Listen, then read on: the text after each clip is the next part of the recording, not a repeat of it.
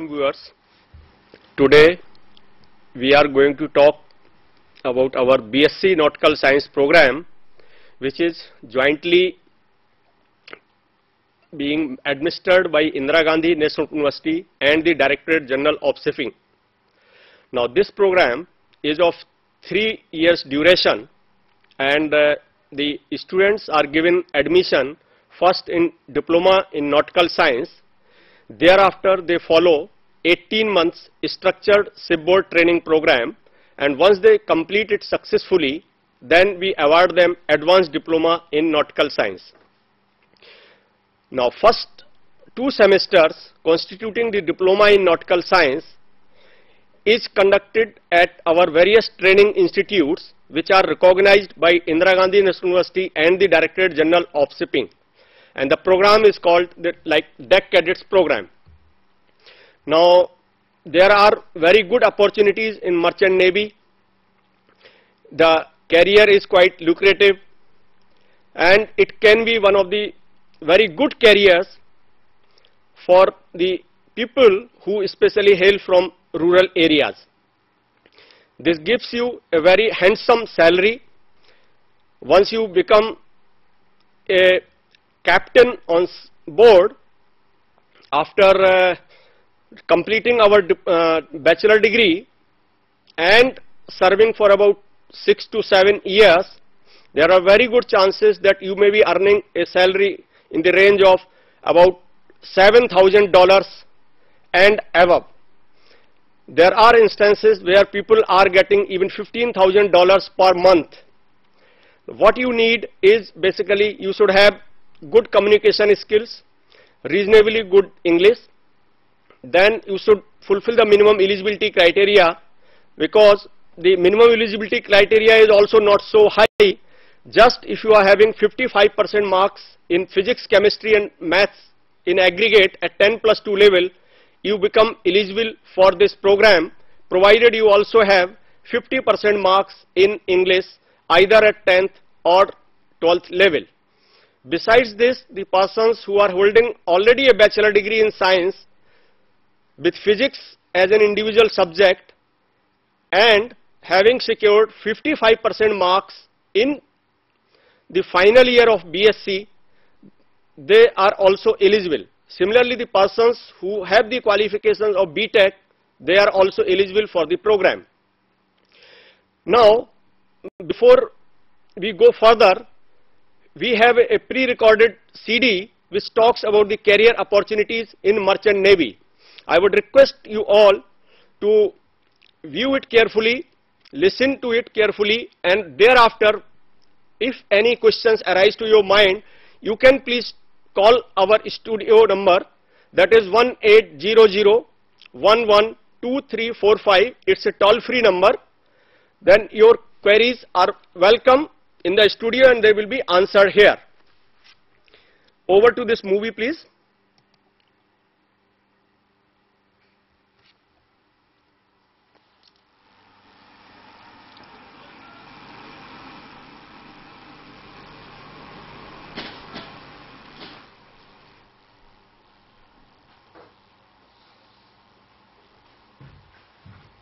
industry which is consisting of public and private companies operating a wide variety of ships ranging from small tugs to ultra large crude oil carriers. And if we talk about uh, shipping as such, it, the importance of shipping is so much that even the pen which we use today is coming some way or the other through shipping industry. So therefore, uh, the shipping industry is uh, very important and it is critical to our day-to-day -day life and uh, uh, the shipping industry is invisibly rendering or giving this service to the society. Now let us see what different type of ships are there. Uh, first uh, tugs. Now tug is basically used in assisting in completion of a voyage of a vessel. That means in berthing a ship or unberthing of a ship, towing a ship when she is in uh, distress, that means she cannot uh, uh, herself move from place A to place B. Then we talk of bulk carriers. The grain which comes to us is comes through these ships. Then we talk of car carriers. Even cars which are being exported uh, from India or are being imported into India is uh, coming through these car carriers. Also trucks and vehicles.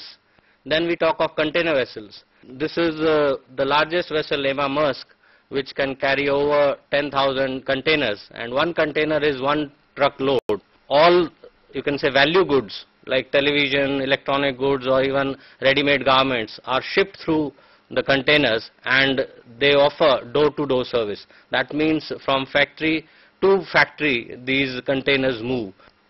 Then we talk of passenger vessels. This is a upcoming uh, industry, cruise industry. Even in India now, uh, the cruise uh, industry is coming in. You have cruise ships coming into Bombay Harbour where Indian citizens want to travel on cruise vessels which do one week uh, or 10 days uh, or 14 days uh, cruise trips to Singapore and worldwide. Then we talk of gas. We know we use gas in our households. So the gas comes through, is being transported through liquid nitrogen gas carriers and uh, it is a upcoming industry. So it comes to the gas terminals from gas resources. From there then it is shipped through the road tankers, gas tankers, and then they, that comes through small terminals where it is bottled into gas cylinders. Then we are talking of oil tanker vessels, so they are actually over 3 lakh ton of oil these vessels can carry uh, when we talk of ultra large crude uh, oil carriers. And uh, the oil as it's a booming industry even now. In India, there is a need for oil for the upcoming economy, so we need oil and that's why uh, worldwide also there's a need for this transportation of uh, uh, this ship. Then we talk of uh, why shipping industry, why, what is the importance and it is invisibly doing the service. If we talk of 90% of the world trade, is carried through shipping industry. So it is a huge volume which the shipping industry carries. Therefore, we need uh, shipping. Shipping is the most environment friendly mode of transport. The pollution in case of shipping industry is the least. Then uh, it is the cheapest mode of transport. If we compare the shipping is one-fifth less costlier than the tra transport. So that's what's why the shipping industry is important. Uh, if we talk of environment friendly, we can see here that uh, the shipping industry is the least uh, pollutant industry, uh, barely uh, 21 to 15 grams per ton kilometer of uh, carbon dioxide it is emitting. Whereas if we talk of air carrier, it is 540. So it is a huge difference when we talk of shipping goods through the ships.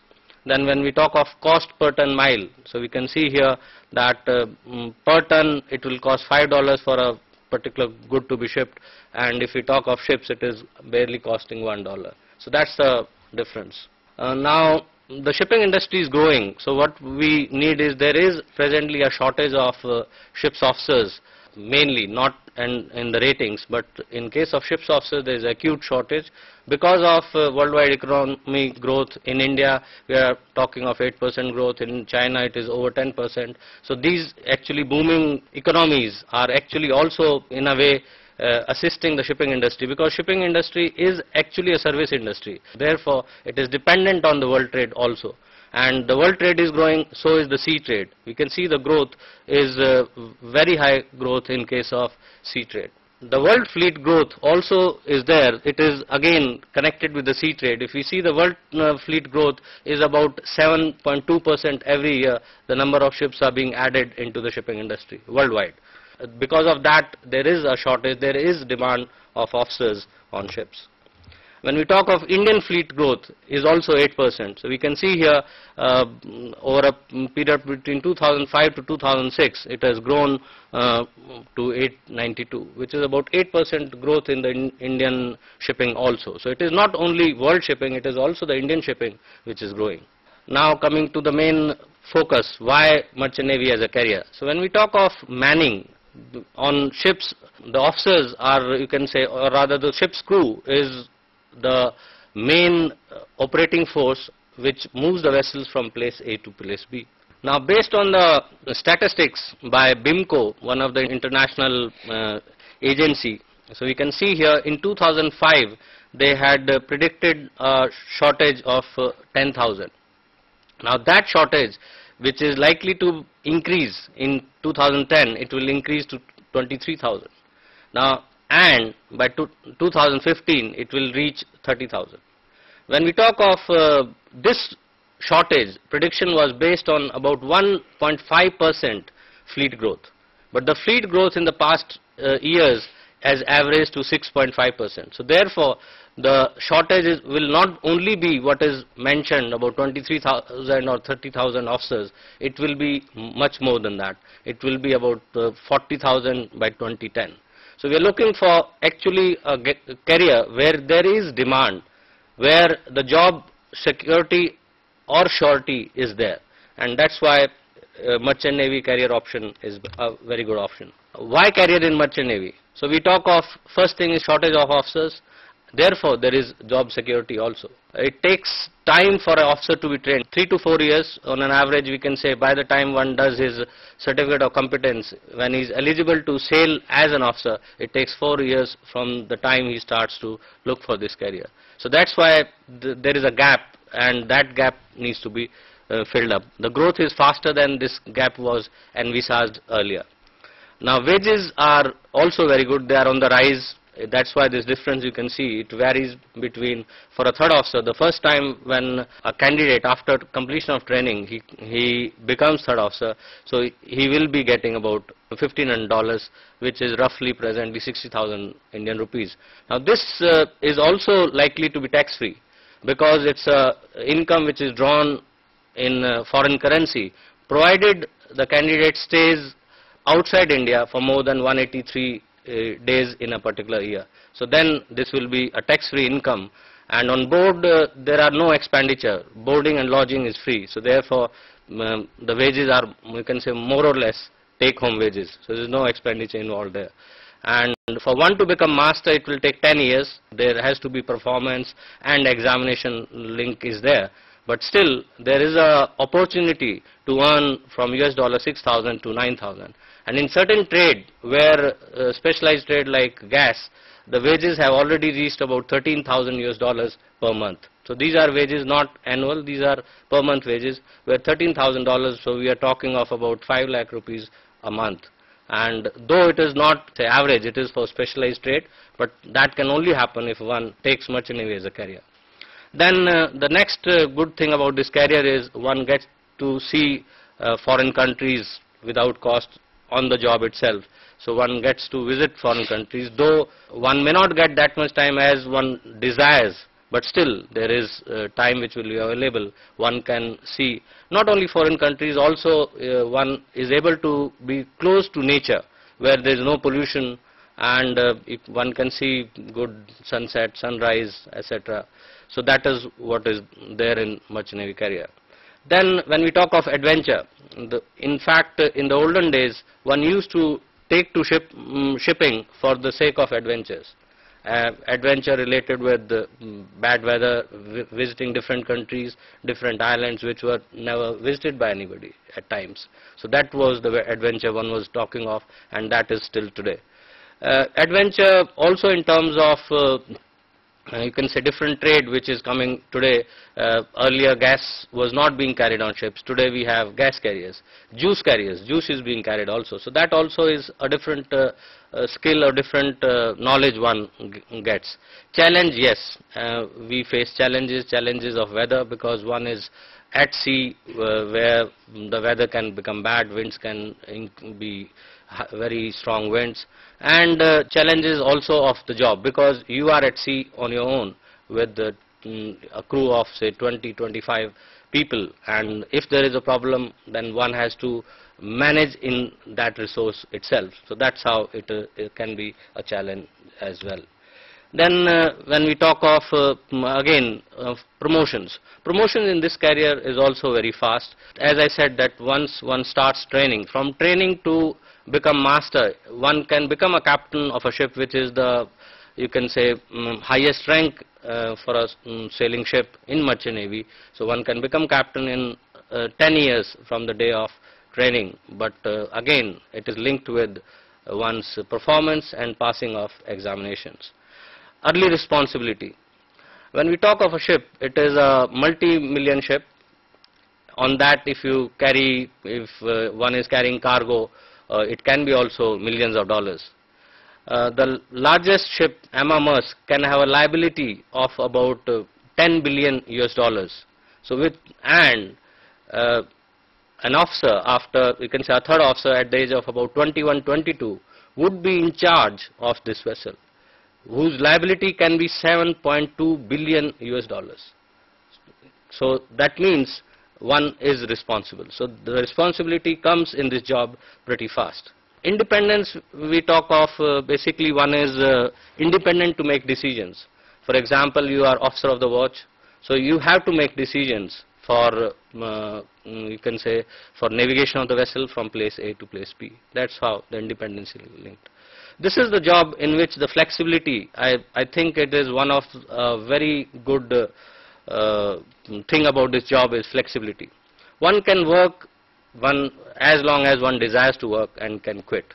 There are options where one can work 15 days on, 15 days off, one and a half month on, one and a half month off, six month on, six month off. Or then there are also regular jobs where one works for three months on and two months off. That means there is a lot of flexibility uh, in job. One can choose different uh, type of options. One can also stay long, earn money and then can stay at home. One does not retire or one, uh, uh, though retirement in certain countries there is a age, but ma mainly it is linked with medical. It is medically linked where one has to be medically fit because every time you join you have to uh, pass a medical fitness exam. Social cause, as I said that 90% uh, of the goods are shipped through shipping, so therefore you are working towards the social cause as well as one starts to earn very young. So therefore one can support his family. And if one is uh, also wants to donate so one is also in a position to donate money as well. So therefore the social cause also comes in. And one does not have to bother about because you are staying on board ship so you don't have to bother about uh, traveling from place A to place B. That means from your home to job you are already on board ship now coming to manning requirement. What is the manning requirement? When we talk of manning, so actually there are three departments on board a vessel. When we talk of one is a deck department, then you have engine department and a saloon department. Now the purpose of uh, these departments have also got levels. When we talk of management level, where we talk of captain and chief officer, operation level on the deck side we talk of uh, uh, second officer, third officer and support level which is ratings. That means uh, mm, you have able-bodied seamen uh, who support in certain operations like uh, also in navigating the vessel as well as maintenance of the vessel. In case of engine department also we have management operation support. So management is chief engineer and second engineer whereas um, operation is uh, third engineer fourth engineer and uh, support also we have ratings engine ratings for support in case of saloon department, it is, only a support department where it is supporting basically the catering facilities on board a vessel. The shortage so far, what uh, I have discussed, is mainly linked with shortage of officers.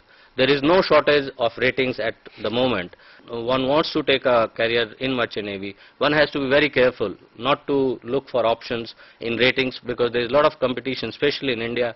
There is a lot of competition in ratings. The number of jobs are very few in ratings as compared to the supply. So we'll talk about uh, how to become a deck officer. There are three schemes. One of the scheme, the last uh, scheme three is discontinued though. Talk of the first scheme which is a three-year degree course leading to a BSc degree in nautical science. The entrance to this scheme is through combined entrance test of IIT or a joint uh, entrance exam conducted by IIT. The second is DG approved open scheme sponsored or non-sponsored scheme.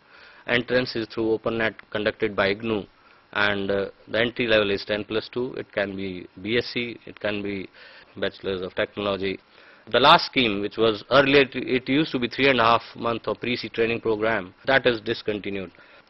Coming to scheme one, so we have three-year course, which is leading to BSc degree in nautical science. It is done by T.S. Chanakya.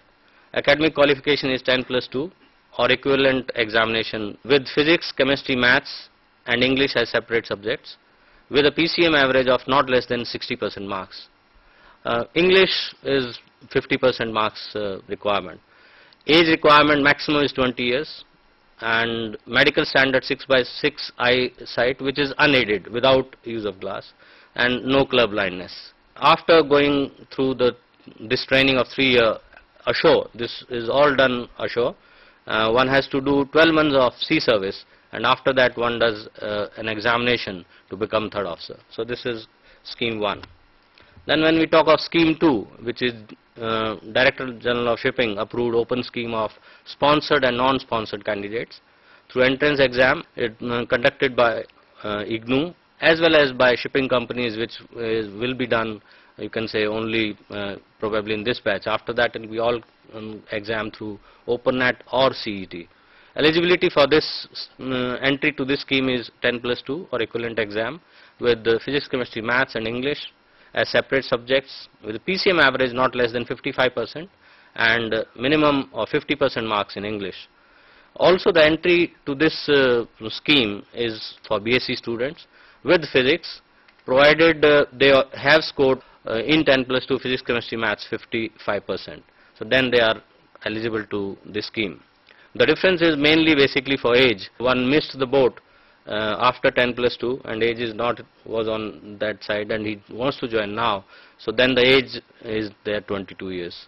So the age requirements 20 years in case of 10 plus 2 students, 22 for BSc uh, physics students and uh, 24 is for bachelors of engineering. Medical standards are same as in the scheme 1 which is 6 by 6 uh, uh, non-aided and non-color blindness. Now we use the word sponsored and non-sponsored candidate. Actually when we talk of this scheme, so there is a, or even in the earlier scheme, there is need for sea service. In the scheme 1, the sea service requirement was for, or sea service training was for one year. In case of IGNOU scheme, it is 18 months. So the sponsored candidates, when we talk of, that means after the training, they will be able to go on board ships to complete that sea service which is mandatory requirement for him to give an exam to become an officer. So just by doing this training of 12 months, one cannot become officer, he cannot go to sea and he is not eligible. So therefore there is need for sponsorship and uh, that's why the link was there for, uh, you can say, link to shipping or the shortage in shipping is there because of that. So uh, when we talk of sponsored candidates to get selected through company specific entrance exams, the company conducts interviews uh, also in the institutes. They come in the institutes or the institutes link up with the companies to get sponsorship for the candidates. Sometimes companies advertise and they select their own candidates. That is possible only the batch which will be starting in January. But in August, from August 2008, it will be all through Open, OpenNet and CET. But sponsorship will be still, uh, they would need sponsorship. IGNOU uh, does not uh, uh confirm sponsorship. The sponsorship has to be obtained by the students and since there is shortage therefore sponsorship is possible uh, if one is good. For non-sponsored candidates uh, one has to again qualify the entrance exam and which is conducted by IGNOU and CET and again as I said one has to try for sponsorship one, when he is doing his training. Uh, the scheme to uh, program of training is stage 1 one has to go through 12 months of pre-sea training which is done, uh, it's a contact program done ashore in training institutes approved by Director General of Shipping. After completion of this, one gets a diploma in nautical science.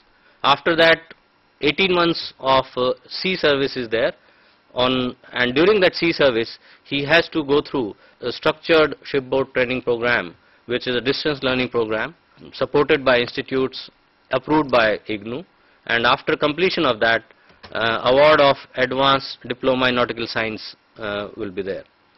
Thereafter, once the sea service is complete, then he has to go through six months of preparation for the certificate of competency.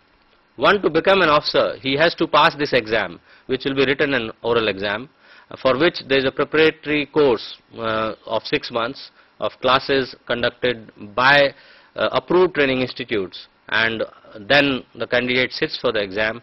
And uh, once on passing of this exam uh, one can become an officer. Then that uh, the wages what I talked about 1500 US dollars or mm, uh, 2500 US dollars from that time onwards it starts during stage 2 also there is some element one gets uh, some stipend of about uh, $300, but it varies from company to company. Uh, but in case of uh, after COC, definitely the wage structure of 1500, starting wages of 1500 US dollar and upwards depending on company to company is available. But uh, one has to know that uh, what is mandatory is first uh, going through pre-sea, after that doing shipboard service of 18 months, thereafter 6 months of training ashore again and sit for the competency exam. Until and unless this competency exam is passed, one cannot sail as an officer on board and uh, passing percentage is about you can say 70% plus. So it is not that bad, it is a good 70% plus. One gets ch uh, chances uh, to appear again generally after every two or three months. So it is not that comes only once a year. The exams are conducted regularly, so one can reappear uh, any number of times, but one has to prove his competence further structure of the career is after second mates, that means once one has become third officer. So this COC, what I talked about is a second mates foreign going exam COC, which he passes. Thereafter, after passing this, he has to again sail when he earns his wages. And during the same time, that sea service counts towards the exam. So that is 18 months of seagoing service as an officer in charge of a navigational watch. Uh, after that, he is eligible to sit for another exam which is uh, called first mate foreign going exam divided into two phase 1 and phase 2 but uh, uh, once he passes this exam then he is eligible to become chief officer. That means from operation level so earlier was operation level exam now he be become he comes at management level. So he becomes a chief officer where the wages are much higher about you can say 3500 US dollars and plus. Thereafter uh, again he has to sail for uh, 18 months it can be it varies from 12 months to 18 months depending on his rank. And uh, then he is eligible to sit for another exam which is called master of foreign going. Once he passes this exam then he is eligible to become captain. It is passing of the exam does not mean he will become captain. For becoming captain he has to prove his uh, competence again. He he his uh, conduct has to be good. He has to be knowledgeable. And only after that he will be becoming captain and thereafter then he is able to earn uh, $6,000 plus. The work pattern generally uh, on ship uh, one it ranges from 3 to 9 months depending on rank. Uh, officers on board have operational level as well as at management level.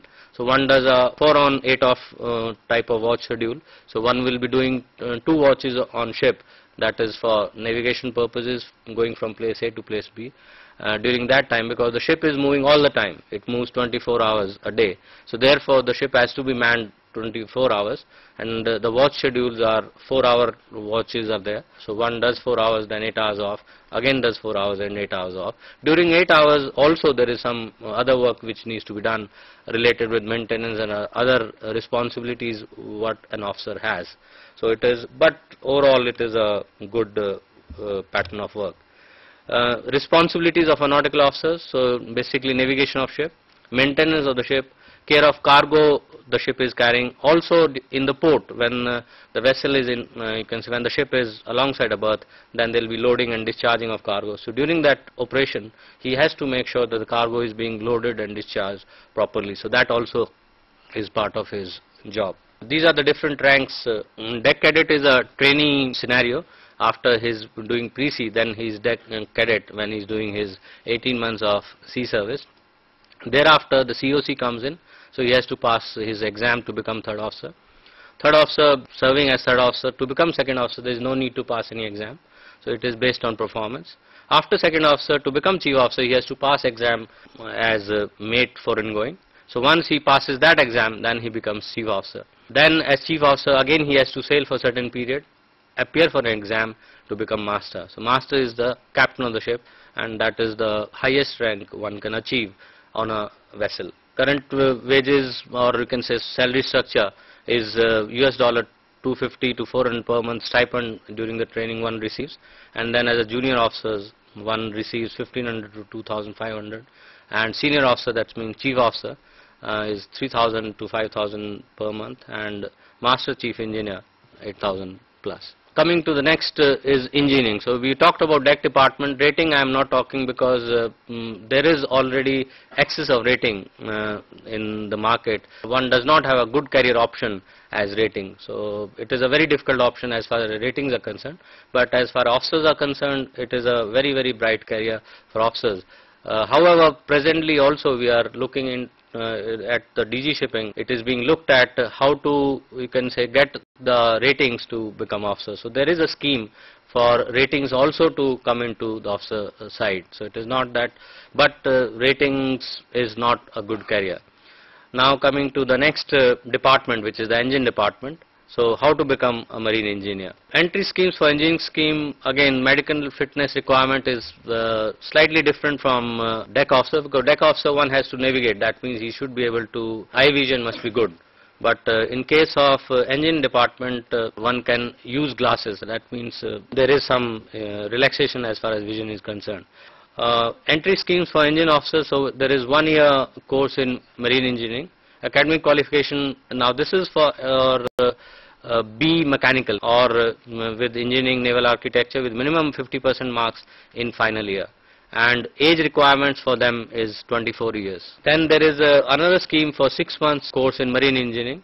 So graduation in B uh, from AICT approved uh, college or university and uh, the age requirement for them is uh, 25 years. Entry scheme for engine officers, 5 months course for training electronic officers, that is a TEO. It is not a very good option. They come in between uh, support and uh, operation levels. In case of uh, engine cadet career progression, so there is one moves from engine cadet uh, thereafter he again sails for some sea time is there for him also and then he has to sit for exam which is second year exam for second year exam he has to give class 2 exam so to become third engineer. To become chief engineer he has to give first engineer exam. And between second year and first engineer again there is a sailing uh, time requirement. He has to sail uh, to become chief engineer.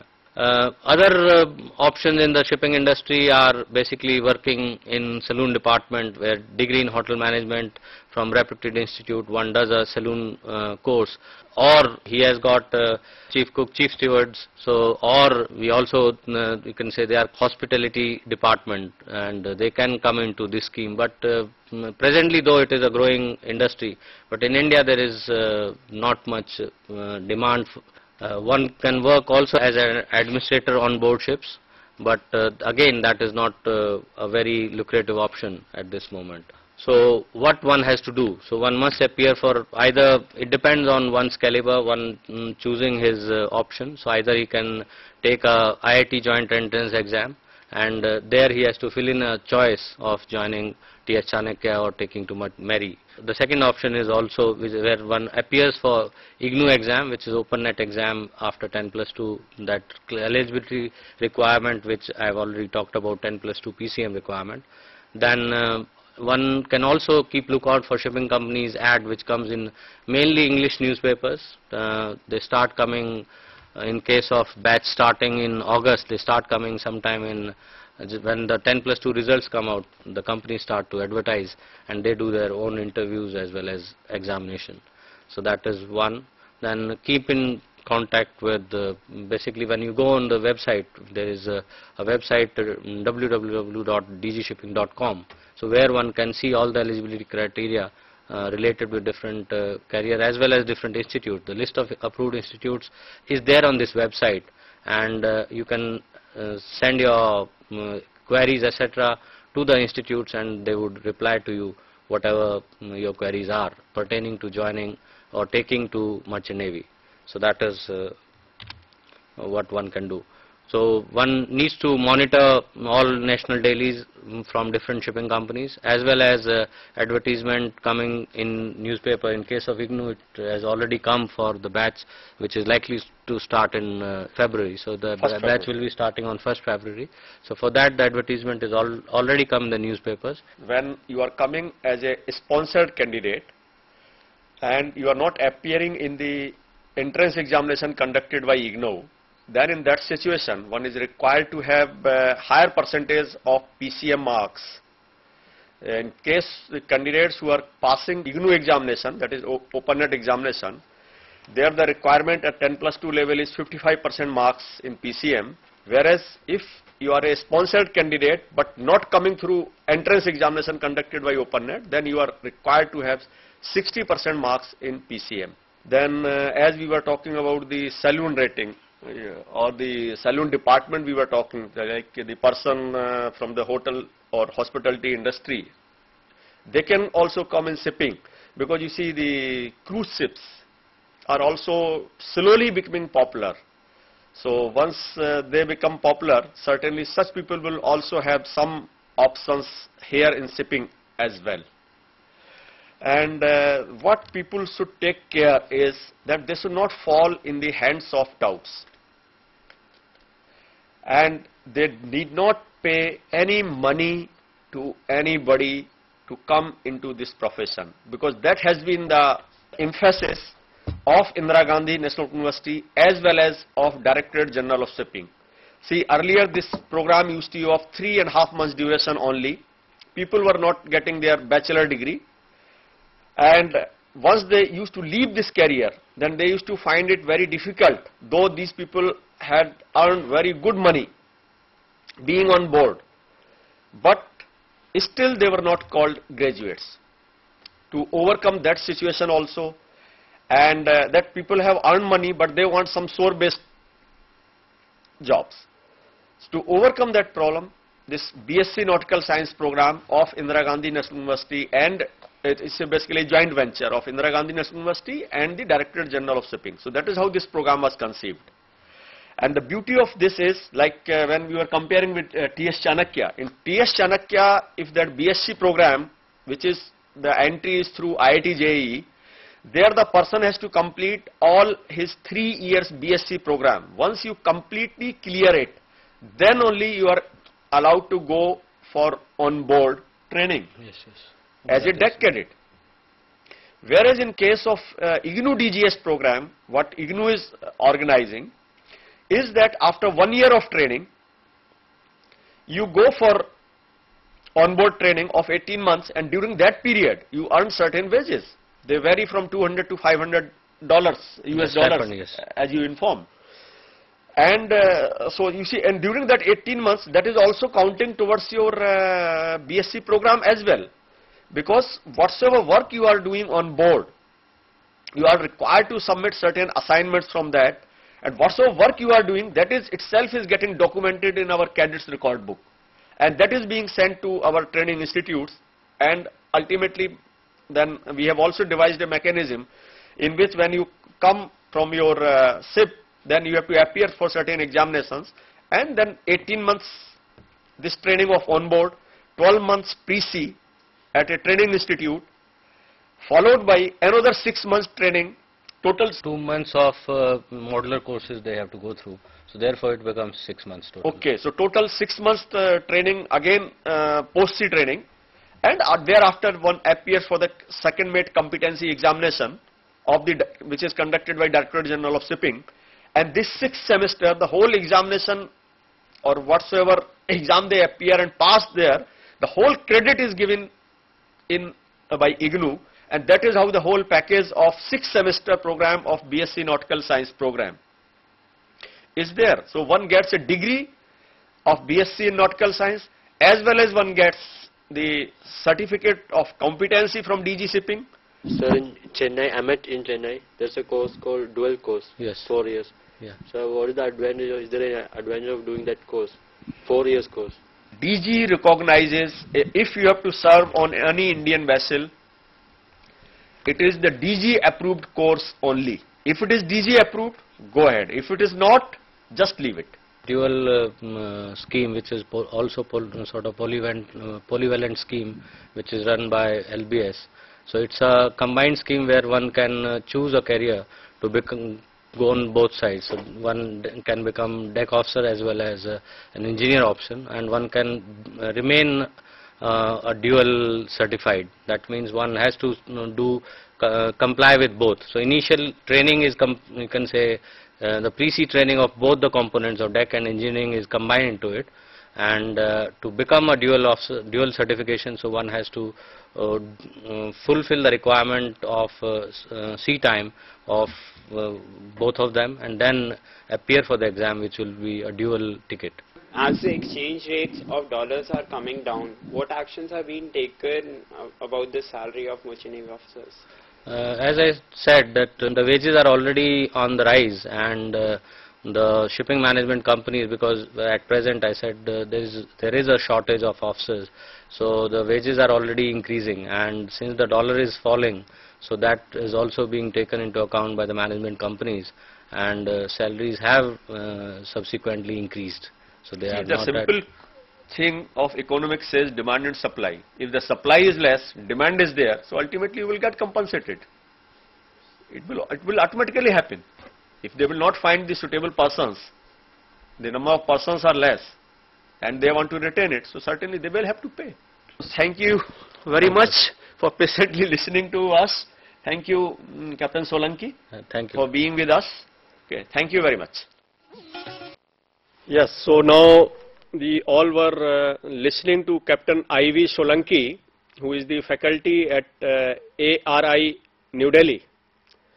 Now, if you have any question regarding the career in the merchant navy, you are most welcome. You can call our studio by calling 1800 112345 in the studio we would be happy to answer your any of the queries. Then uh, in the second lecture, which will start after uh, about uh, 20 minutes, in that one then we will be talking about how our whole scheme of BSc Nautical Science program in association with the Director General of Shipping is functional and uh, how the candidates are admitted how they proceed for their diploma in nautical science in various training institutes, what are the fees, duration of the program, how they proceed on board, and how they appear in their COC examination. So thank you very much, and we will again assemble at 5 uh, at 4:30 4:30 p.m. Thank you very much.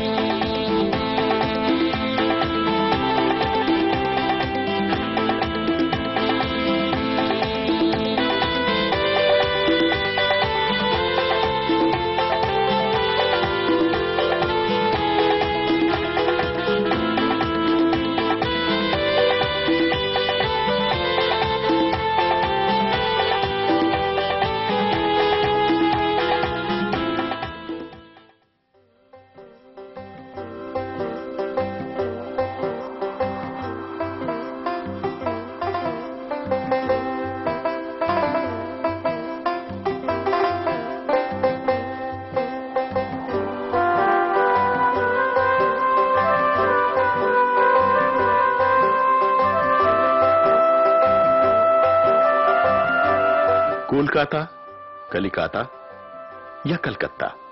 आप इसे कुछ भी नाम दें। इसके नाम मात्र से एक ऐसे नगर की छवि जहन में उभरती है, जिसका एक समृद्ध इतिहास है। तीन शताब्दी पहले कोलकाता एक छोटा सा गाँव होता था, जो इस कालावधि में भारत के सबसे बड़े शहरों में से एक बन गया है।